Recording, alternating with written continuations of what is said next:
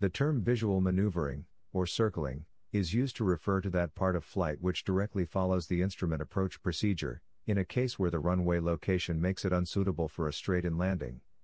This means it is otherwise not possible to designate a final approach track deflected by less than 30 degrees from the runway centerline, or to fulfill the descent gradient criteria. Complex systems, such as aviation, are equipped with multiple layers of defenses against failures, from organizational to a personal level. Because each of these layers needs to be breached for an accident to happen, single point failures remain inconsequential in this system.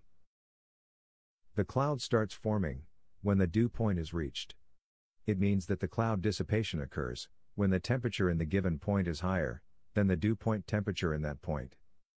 Then, the water droplets or ice crystals forming the cloud start evaporating or sublimating. Such conditions appear when the temperature increases. When the cloud mixes with drier air. Or when the cloud subsides. The word radar is an acronym for Radio Aid to Detection and Ranging. It is a system invented at the turn of the 1930s and 1940s for military use, to detect aircraft. It operates on the echo principle, which is based on the reception of transmitted signal reflections.